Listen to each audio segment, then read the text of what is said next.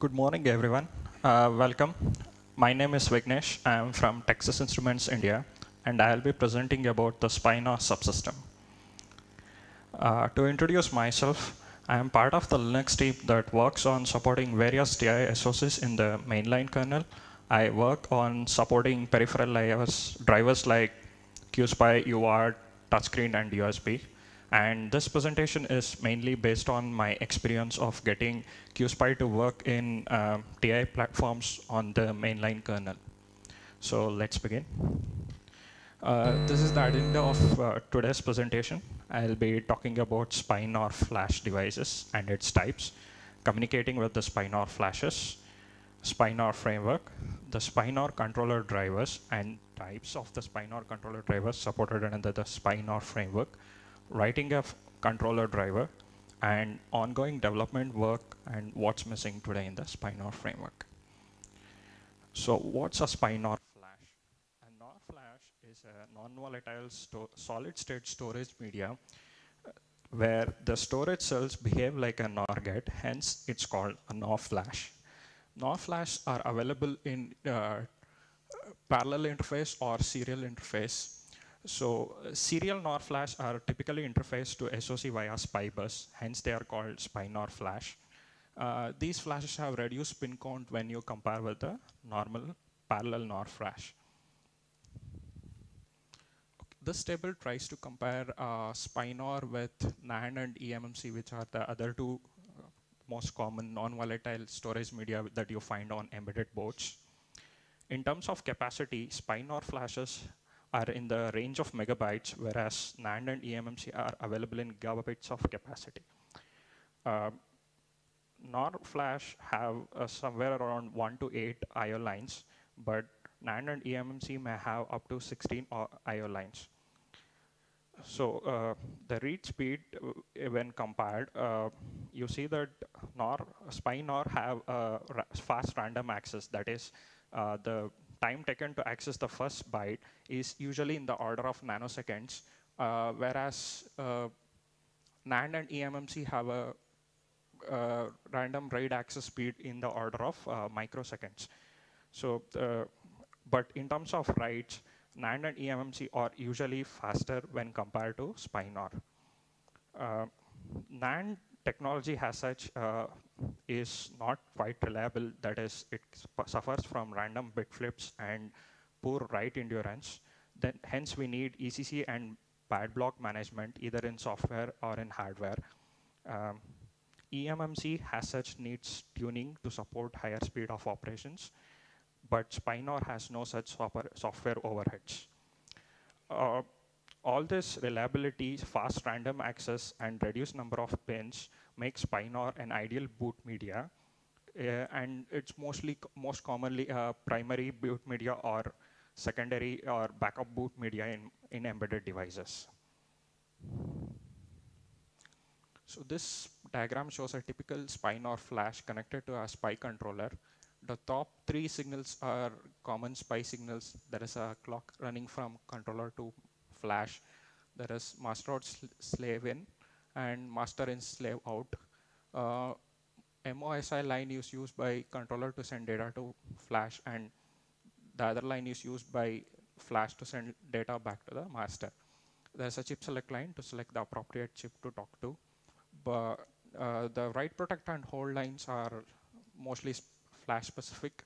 Uh, write protect is used to make NOR flash read only and uh, not respond to write or erase commands. Hold line is used to pass a transaction uh, without actually deselecting the uh, NOR flash so that you could pause and then resume the transaction. Sorry. Um, this diagram shows a multi-IO flash where there are four bidirectional IO lines connecting controller and the flash therefore, we call the flash as quad SPI flash and the controller is a quad SPI controller. In quad mode, the write protect and IO lines double has, uh, sorry, write protect and hold line double has IO2 and IO3 lines, making it four IO lines. There are also uh, NOR flashes with up to eight IO lines, which are called octal IO flash, or you could have a NOR flash working with just two I.O. lines, I.O.0 and I.O.1 in bidirectional mode. Uh, such flashes are called dual I.O. flash. So there, uh, to summarize, there are dual I.O., quad I.O., and octal I.O. flashes. A uh, little bit introduction to the SPI NOR hardware itself. Uh, a SPI flash is composed of sectors and pages. The a sector is the smallest possible array block size. Uh, it may be 4K, 32K, 64K, or 256 KB in size. The sectors are subdivided into pages.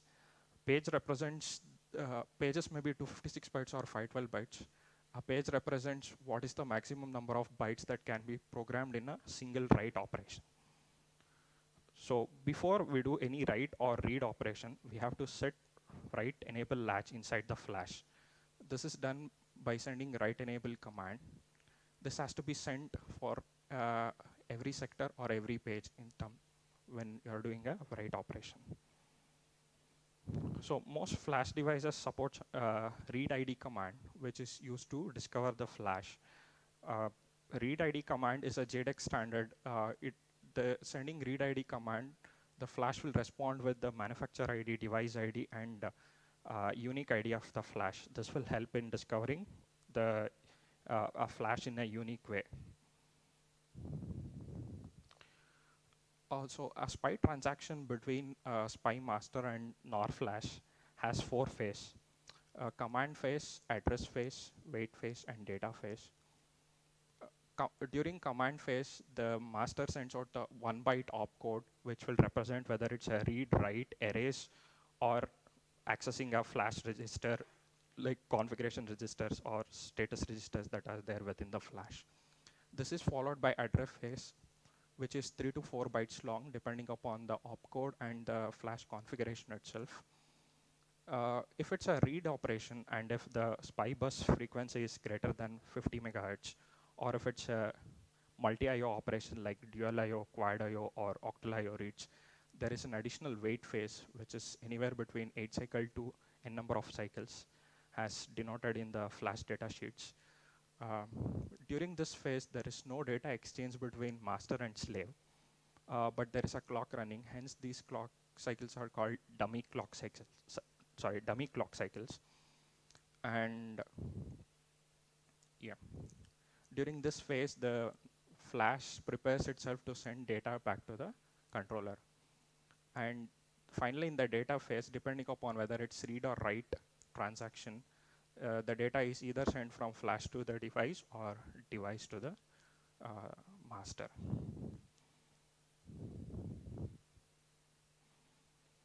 So moving on, uh, we will talk about the SPI NOR controllers itself.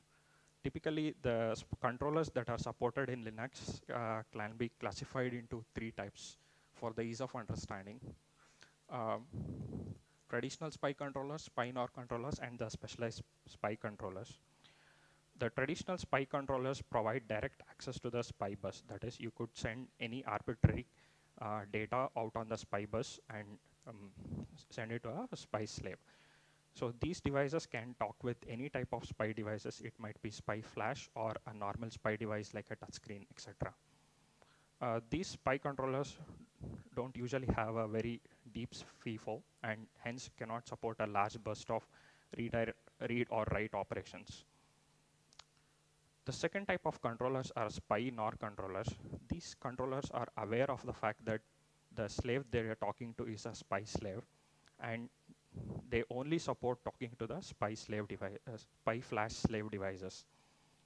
And they are aware of the fact that the communication protocol has command, address, and data phase uh, SPI controllers provide low latency access to flash, either via memory mapped interface or uh, any other accelerated interface.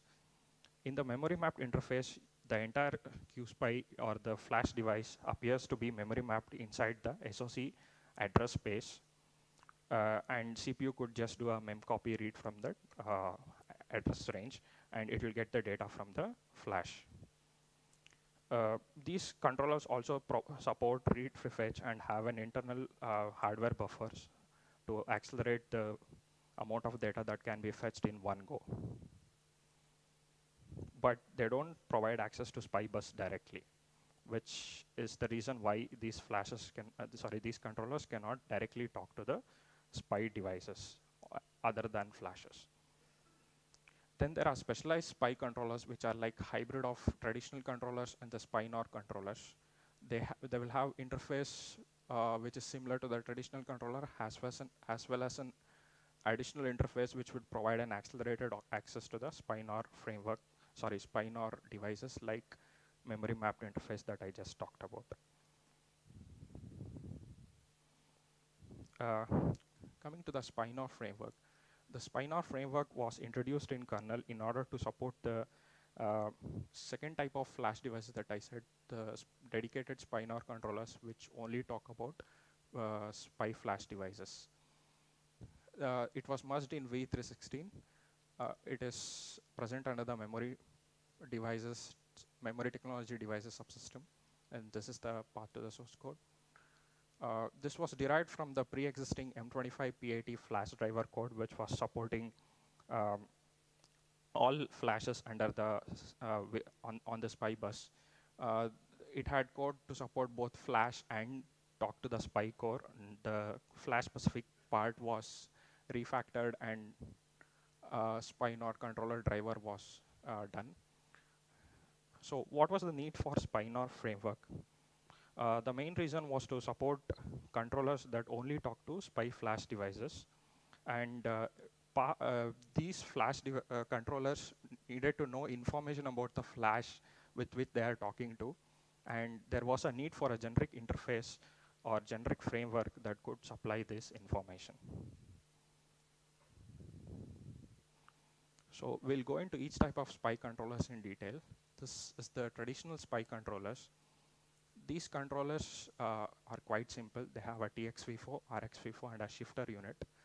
Uh, CPU or DMA would write data into the TX FIFO, and whatever is written is just shifted out onto the SPI bus. And similarly, the data that is received from the flash device is uh, sent out uh, by reading the FIFO. So uh, since there is direct access to this FIFO, the CPU can send uh, any type of protocol here, I mean, CPU can implement any type of protocol and the same get shifted out on the bus. Hence, making it possible to communicate with any type of flash devices or uh, any type of SPI devices like touchscreen, etc. So there is no notion of command phase, address phase, or data phase anywhere here.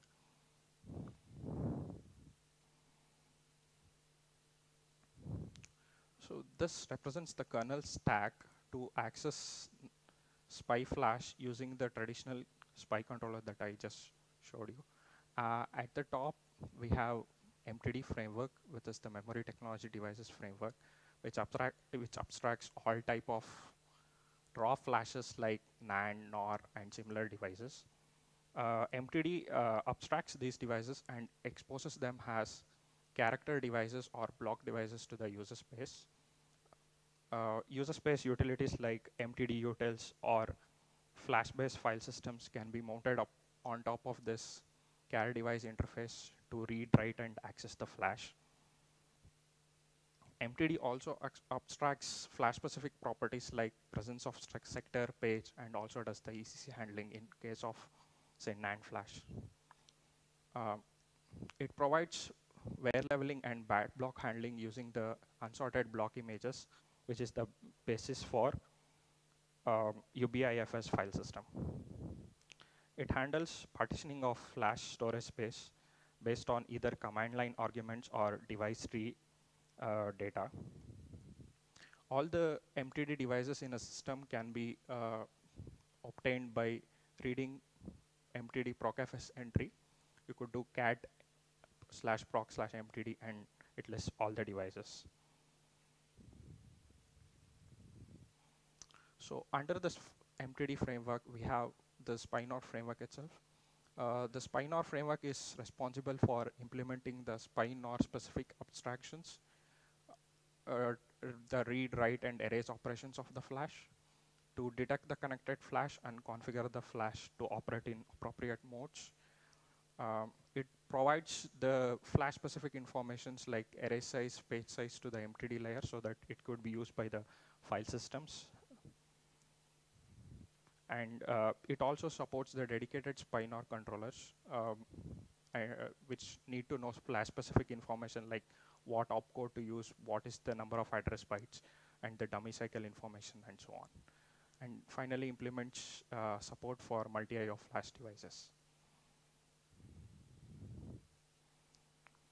So below the SPINOR framework, we have M25P80 driver, uh, which is basically a generic driver to access flash devices on the SPI bus. Uh, the M25P80 driver acts as a translation layer between SPINOR framework and the SPI core.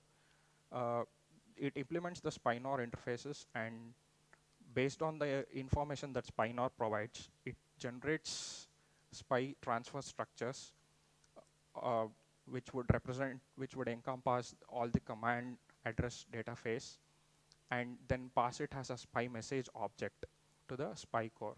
Uh, all the communication within SPI core or communication with SPI core is always in terms of SPI messages. Therefore, uh, M25P80 acts as a translation layer and generates those SPI messages based on the parameters supplied by the SPINOR framework. The, the SPI core, uh, the messages that are submitted by M25P80 will land in the SPI core. The SPI core validates queues and the sends the SPI messages from upper layer to the controller drivers the SPI controller driver writes data to the TX and RX FIFO, and whatever data that is received via the RX FIFO is sent along the same path back to the uh, MTD, uh, SPINOR and MTD framework.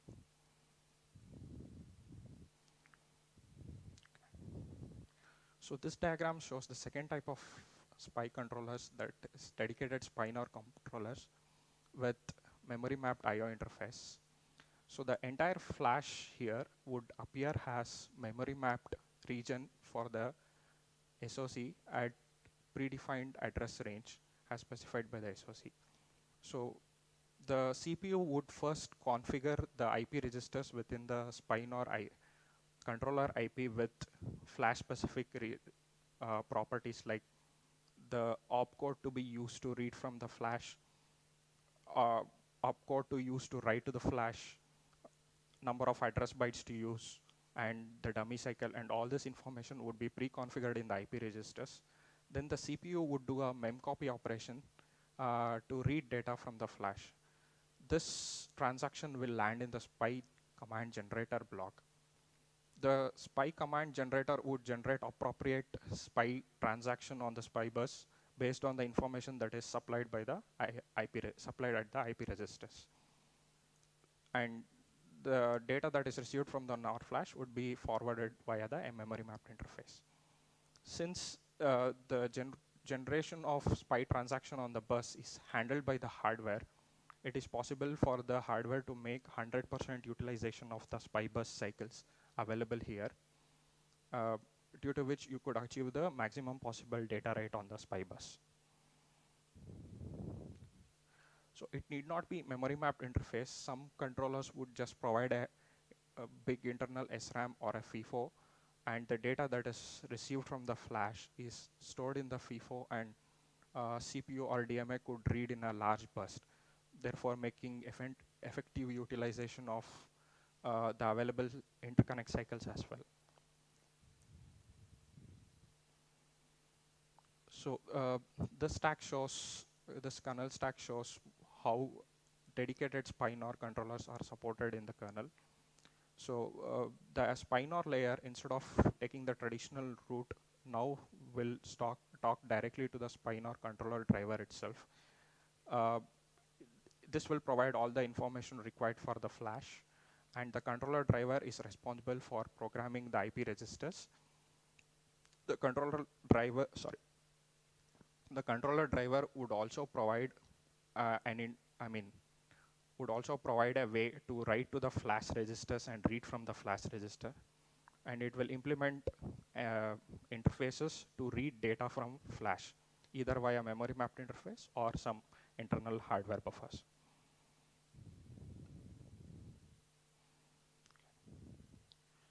Okay. Uh, this diagram shows a specialized SPI controllers, which is the third type of controllers that I talked about. Uh, these controllers provide uh, two interfaces. One would be a SPI interface and another is a memory mapped interface. Using the SPI interface, uh, which, which will marked here as direct access path, uh, CPU can directly access TX and RX FIFO. Therefore, you could talk to any type of SPI devices, not just the flash, using this direct access path. But uh, it also provides memory mapped interface, which will help you to read data at a faster rate from the flash. So the read transaction, especially with respect to flash, will go through memory mapped interface, but all the write and erase transactions can go through the normal uh, SPI mode. And also you could access other flash devices using the normal direct access path.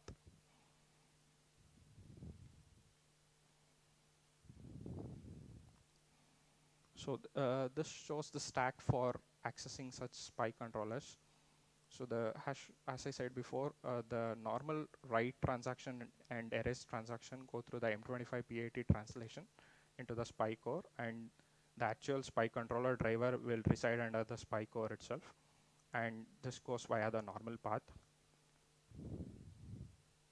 But for the read transaction, uh, M25P80 will call SPI flash read API, which is a special API provided by SPI core to talk to the uh, SPI controller drivers with memory mapped IO interfaces.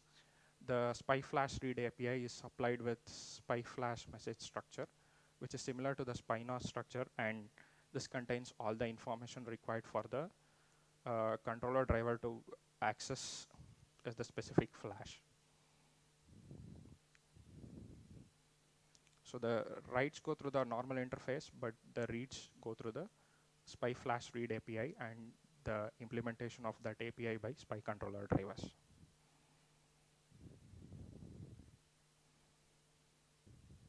So where do you put a driver uh, if you uh, if you have a SPI-NOR controller driver, where would you put in one of these frameworks, either in Spike framework or Spike frame SPI-NOR framework or on the Spike framework, is decided by uh, how you want to support uh, devices on your SPI bus. If the SPI framework, sorry, if the SPI controller provides direct access to the bus and there are no accelerated interface as such, then you would put such drivers under SPI framework. If the controller IP supports only talking to SPI flash devices and cannot talk to other type of devices, then you would put them under SPI NOR framework.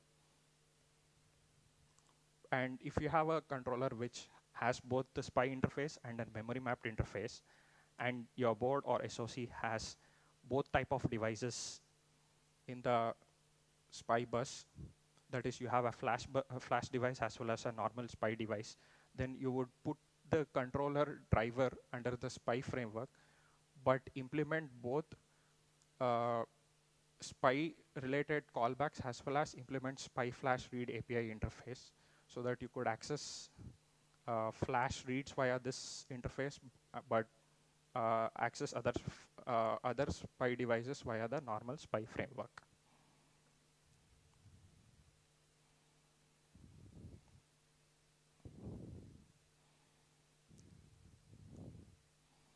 So how to write a SPI-NOR controller driver? Um, the SPI-NOR framework expects these four, at least these four APIs to be implemented. That is read reg, write reg, read and write APIs. So the uh, read reg API, uh, you implement this API to read data from the flash that is either uh, status register, configuration registers, or uh, the flash discovery ID that is read to send read ID command or to read uh, serial flash discoverable protocols and so on to send various, uh, I mean, to read various uh, registers within the flash. Then you would implement the write reg API, which is used to write to these registers, uh, say to send write enable command or to set uh, flash into quad IO mode and all, all the write transactions to the SPI configuration registers. And finally, implement read-write APIs, which is used to read the actual data from the flash, either via the memory mapped interface or any other accelerated interface that SPINOR framework, uh, that the SPINOR controller would provide. So uh, the SPINOR struct that's being passed here would contain the uh, details required to access the flash. So uh, in the probe of the controller driver, you would call SPINOR scan. Uh, the SPINOR scan will request the SPI framework to send a read ID command, that is uh, JEDEC read ID command to discover the manufacturer ID and device ID of the flash. Based on this information, there is a table within the SPINOR framework which will dictate uh, for the given flash, for the given flash uh, device ID, what is the size of the flash, what is the array size, sector size, and page size of the flash, and whether or not it supports uh, quad mode, dual mode, or octal mode, and what are the opcodes that needs to be used for the specific flash. So when SPINOR scan API is called, the SPI framework would, based on that table, populate the SPINOR struct with all the required details. This will help the uh, SPI controller drivers whenever it wants to do a read or write operations to actually configure the IP registers which require address and address or uh, sorry, uh, which which would require read or write opcodes to communicate with the flash. So then you would call MTD device register, which will register the uh, discovered flash with the MTD framework and uh, result in creation of slash dev slash MTD interface. So if, if there are multiple SPINOR devices connected to the uh, controller at different chip selects, you will have to call SPINOR scan for each of the chip selects and register each of the devices. So uh, this is an example for instantiating SPINOR controller driver using DT. So this is an example from Cadence QSPI driver.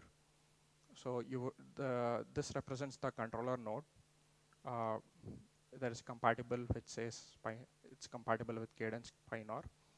Uh, you can see there are two reg properties. The first reg property corresponds to the IP registers where you would actually configure flash specific data or uh, other IP register configuration. And the second address range actually represents the memory mapped IO interface. Using this interface, one could, uh, uh, so this is the address range from where CPU or DMA would do memcopy operations so that uh, which gets translated to translated to SPINOR messages uh, and goes out on the SPI bus and you would get data back uh, of what is present on the SPI flash. So each of the fly, SPI flash devices would appear as a child node to the controller driver. You would say compatible is equal to uh, JEDEC SPINOR if the SPI flash supports read ID API. And based on the uh, flash that was discovered, the SPINOR frame would take the appropriate actions. Uh, the reg is equal to zero. This property will suggest that this flash is present at chip select zero. And the SPI max frequency will dictate the SPI bus rate at which the uh, communication would happen between the flash and the slave. Sorry, flash and the controller. And similarly, you would have other flash devices as well. So if the if the flash doesn't support uh, JEDEC read ID, then you would have to supply the name of the flash as one of the parameter to the SPINOR scan API. And if that flash is supported by the framework, then it would do the appropriate configurations. Also, SPINOR scan API will uh, accept hardware capabilities of the NOR flash controller driver. That is whether or not it supports all the IO modes or it's just a single IO device. Based on the properties of the discovered flash and as well as the uh, properties of the controller, the Spinor API would ch choose the appropriate uh, I.O. mode to be used.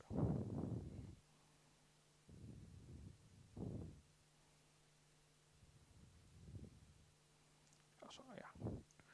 Uh, this table shows performance comparison between various uh, framework that I talked about using TI QSPI controller uh, on DRA7xx families of SOC.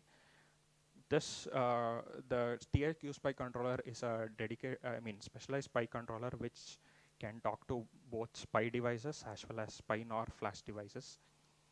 So um, under SPI framework, with, without any acceleration, just going through the traditional route, uh, the read speed is around 800 kilobytes per second with a CPU load of 70%.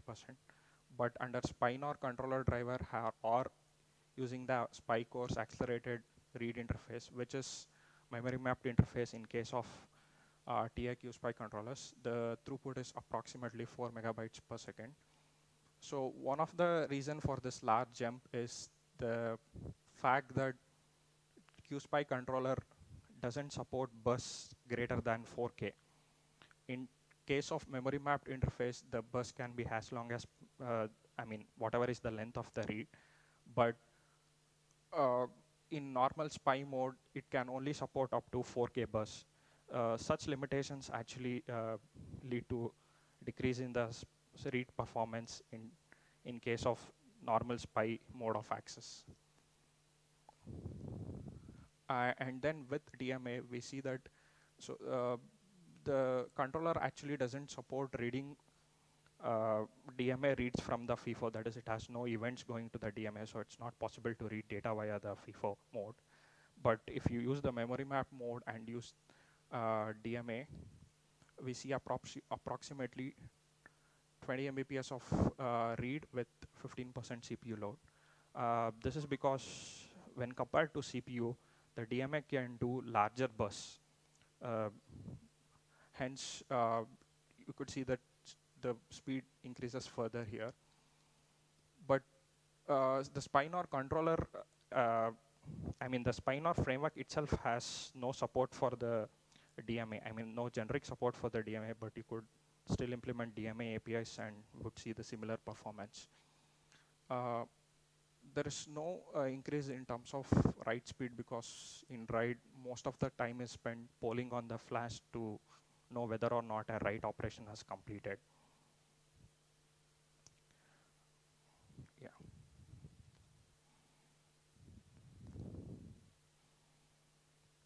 So uh, I'll talk a bit about the ongoing developmental work in SPI NOR framework. Uh, one of the main uh, things that's being addressed is use of 4-byte addressing mode uh, for opcodes. Flashes, uh, older flashes had uh, sizes less than 16 megabytes and just required 3-byte of addressing mode. But newer flashes have higher density and would require 4-byte of addressing mode. Uh, and there are special opcodes which expect 4 byte of addressing codes, and there are opcodes which just take 3 bytes of address. Uh, and flashes provide many ways to uh, use the access the memory region above the 16 megabytes. That is, you can enter a 3-byte addressing mode. Uh, sorry, you can enter a 4-byte addressing mode by setting a bit within the flash. And then all the 3-byte addressing opcodes would also expect 4-byte addresses. Or you could use the dedicated opcodes which will uh, always expect four bytes of opcode irrespective of what is the state of the flash. So, uh, but we should make sure that the communication with the flash is stateless and there's no bit that is set within the flash to uh, enter four byte addressing mode or uh, come out of four byte addressing mode. That's because it would create uh, incompatibilities with the boot bootloaders which would expect it to be in 3 byte addressing mode, say for example, uh, because the bootload, uh, bootloader might be residing within the first 16 megabyte of area.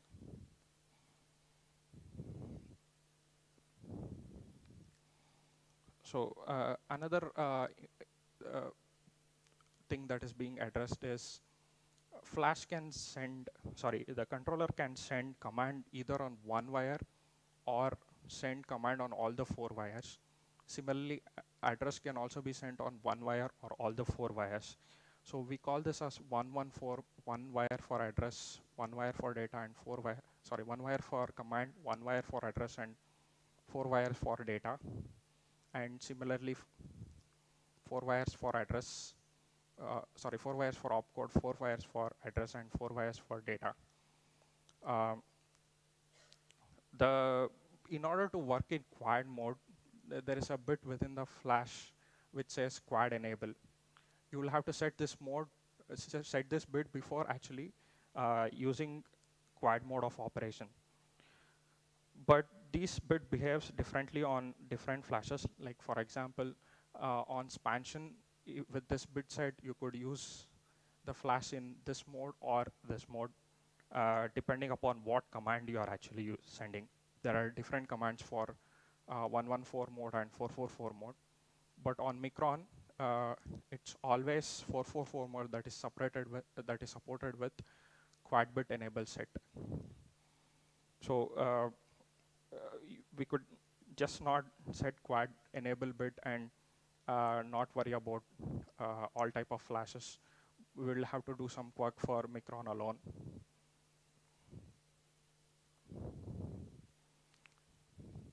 So the other thing is handling different sector sizes. Uh, Flash may support either 32K, 64K, or 256K sector size. And optionally, they also support something called as small sectors, which is 4K in size.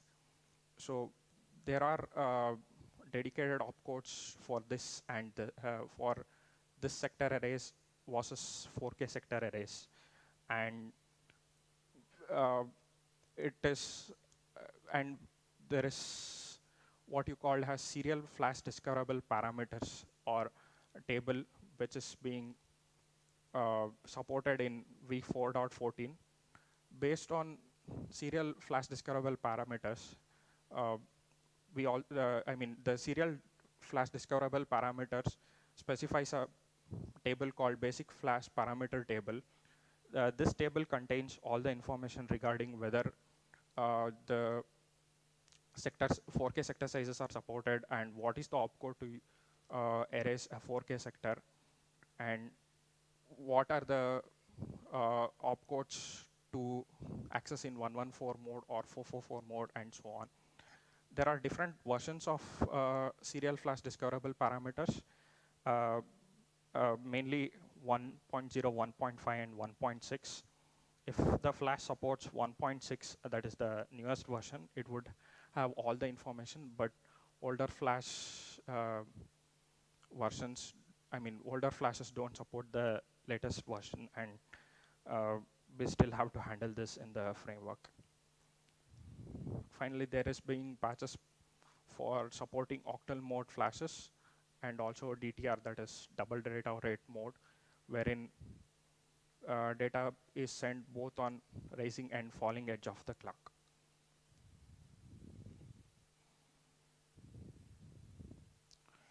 So one of the things that is missing today in the framework is DMA support. So flash files, uh, the main reason uh, why it's not so easy to support DMA with NOR controllers is the fact that the flash systems or the flash file systems which make use of the uh, SPI-NOR flashes are not written with DMA in mind.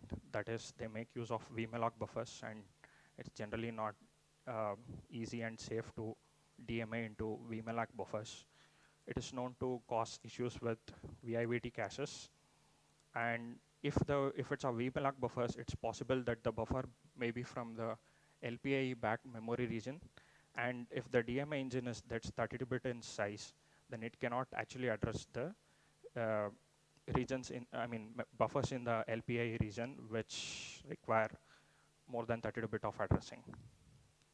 So the SPI core tries to handle this uh, vmalloc buffers by mapping it to an SG list and passing it on to the SPI controller drivers. But this still cannot deal with VIVT caches or LPAE memory back buffers. So one of the solutions that is used is use of bounce buffers. Uh, TIQ driver uses bounce buffers, which is an intermediate buffer from which you copy data from vmalloc regions to uh, bounce buffer and then copy from the bounce buffer to the actual destination buffer. Uh, there are other uh, SPI controllers which also make use of bounce buffers, but uh, this is spread all over the uh, all over the drivers and there is no uh, common implementation as such. So one of the questions that keep coming up on SPI or MTD mailing list is, can DMA mapping, DMA mapping APIs that are generic implementations that are there in the kernel, can that be modified to support vmalloc buffers uh, for DMA uh, in a sane way so that it could benefit all the driver frameworks? And if mapping such buffers is not possible, whether it is possible to provide a um, bounce buffer, generic bounce buffer implementation within the DMA framework itself so that all drivers can make use of it on its own.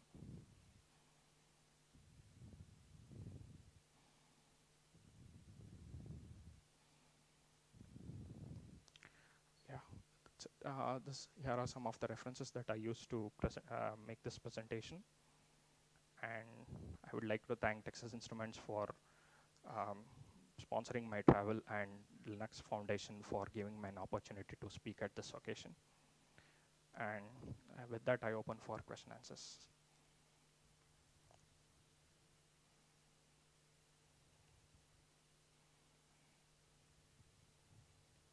Yes.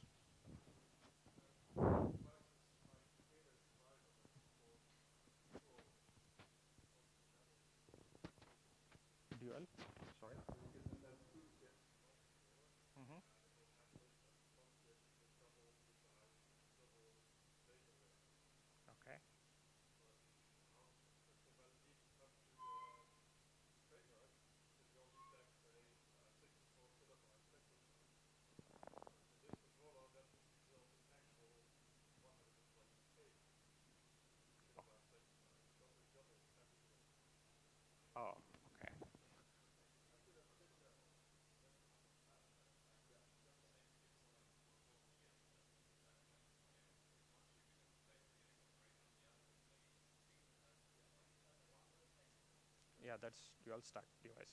I don't think there is support for any type of dual stack devices. I mean, dual stacked SPI devices as of today.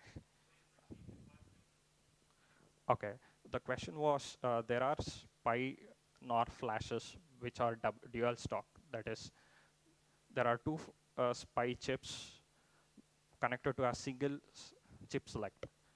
So you could erase 64 K sector, but it will actually erase 128K.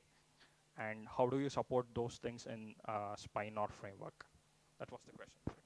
Okay. Yeah, sure. SPI NAND, is it? Okay.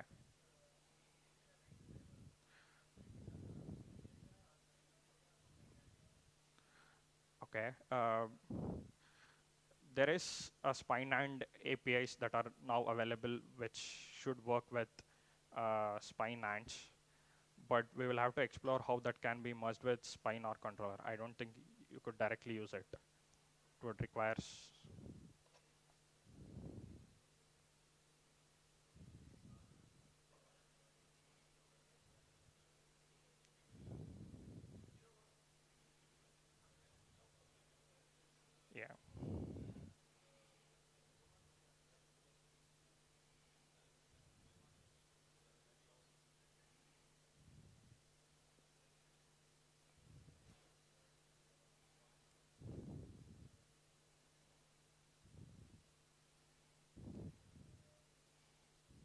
Yeah, the question was whether we could support a device that supports both SPI NANDs and SPI NORs. Uh, I guess we'll need a, uh, a, I mean, some common interface that can talk to both SPI NAND versus NOR as well. Uh, although it's abstracted at MTD level, level, but yeah.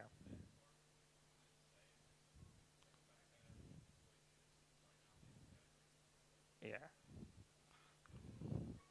We, we'll need an SPI flash subsystem, which is more generic and doesn't distinguish between NAND and NOR. Yeah.